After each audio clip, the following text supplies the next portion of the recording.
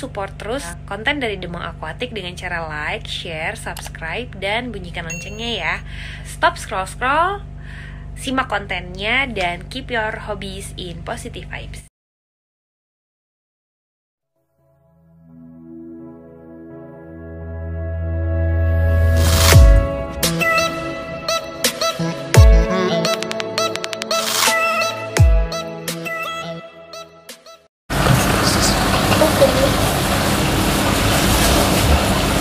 Oh udah. Udah.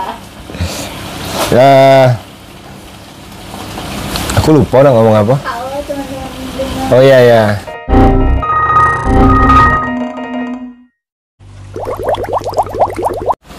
Halo teman-teman Demang Aquatic, kembali lagi bersama Dr. Dre, konsultan dari Demang Aquatic. Hari ini kita akan melakukan pembedahan terhadap ikan jenis goldfish, lagi-lagi jenis goldfish, jenis ryukin, mungkin bisa terlihat di sini. Em, ikan ini ada tumor di bagian dorsal sebelah kanan ya, dorsal sebelah kanan tapi nggak di atas banget. Jadi ini ikan ini sebelumnya memang sudah ada tumor, jadi ada ada jaringan yang tidak normal tumbuh di atas kulitnya, di atas sisiknya dan sudah pernah diangkat oleh penghobinya lalu muncul lagi itu khas klasik dari tumor yang tidak tidak diangkat sampai ke akarnya ya.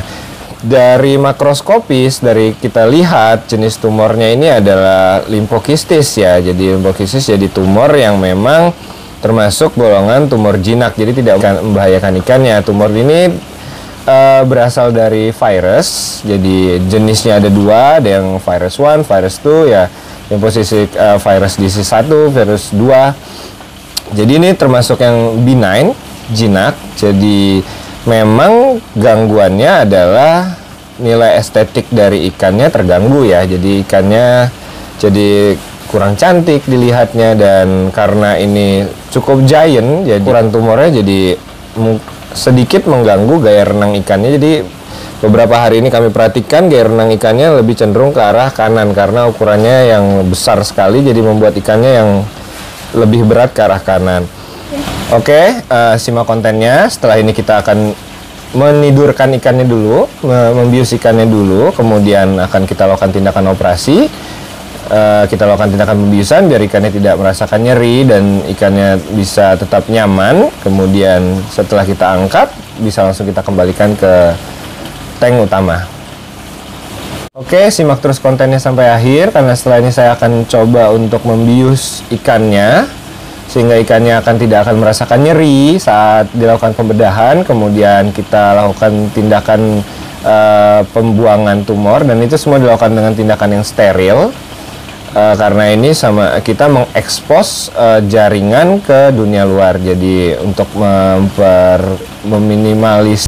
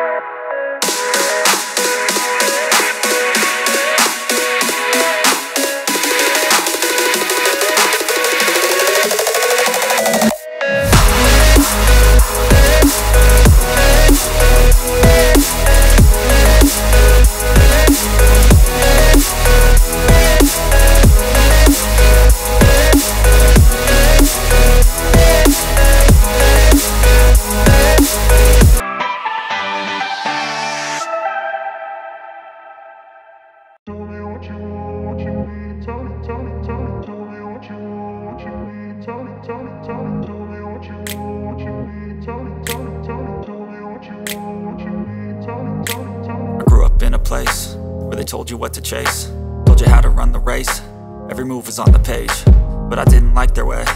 Had to fight and misbehave, had to find a way to change, had to leave to find my way.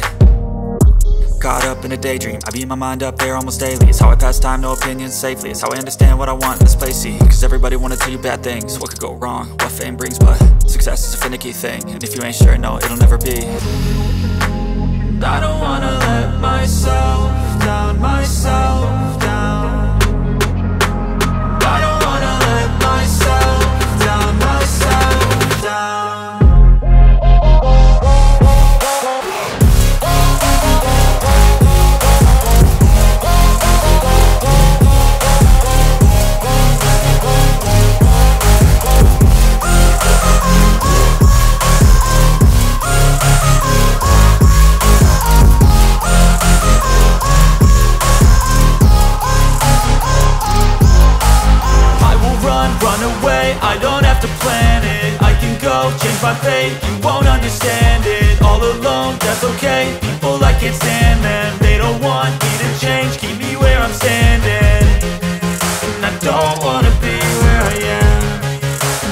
Want something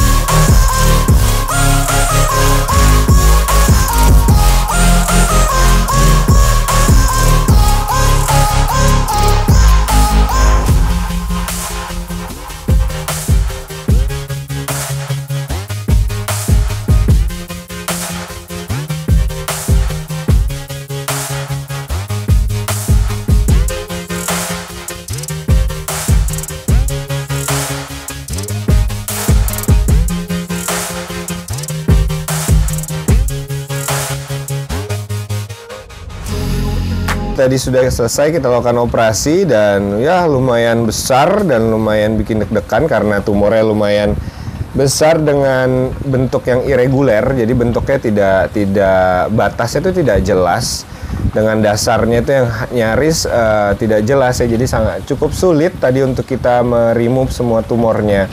Cuma yang dapatkan tadi benar-benar ini dari gambarannya khas limfosistik ya. Jadi eh, dengan banyak terlihat jaringan fibroblast yang sudah terjadi hipertrofi atau hiperplasia yang sudah sudah ukurannya itu sudah abnormal tidak seperti ukuran pada pada saat dia normal. Kemudian juga eh, tumor ini sudah menginvasi sampai ke bawah lapisan lemak. Jadi beberapa lapisan lemak tadi juga sempat kita buang. Jadi kita habiskan tadi tumornya sampai ke akarnya sampai ke paling bawah dengan dasarnya lemak. Jadi benar-benar bersih sampai semuanya dasarnya lemak. Di sini kalau ikannya bisa kita lihat di bagian sini itu masih ada lemaknya yang menonjol dan ini juga pembuluh darahnya juga yang dilatasi yang besar akibat tumor ini juga sangat sangat banyak ya. Jadi tadi kita sudah coba berhentikan perdarahan dengan baik dengan kauter maupun juga sampai ada yang harus diligasi karena pembuluh darahnya cukup besar jadi tidak berhenti dengan cara kauter.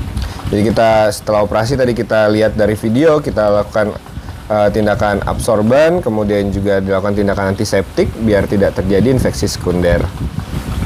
Dan juga ini khas sekali ya uh, tumor yang sebelumnya pernah diangkat tapi tidak tidak keseluruhan diangkat jadi memang uh, tumbuh lagi. Setelah kita operasi kita kembalikan lagi ikannya dan ikannya kembali berenang dengan sehat. Jadi mudah-mudahan nanti setelah kita lihat mikroskop, mudah-mudahan ini bukan yang uh, tetap ini benign, bukan yang ganas ya. Oke, nanti kita lanjut lagi. Kita tunggu hasil pemeriksaan eh, dari mikroskopnya, mikrobiologinya kita akan tunggu juga. Dari pemeriksaan histologinya kita juga akan tunggu untuk memastikan benar 100% ini adalah penyebabnya limfosistik yang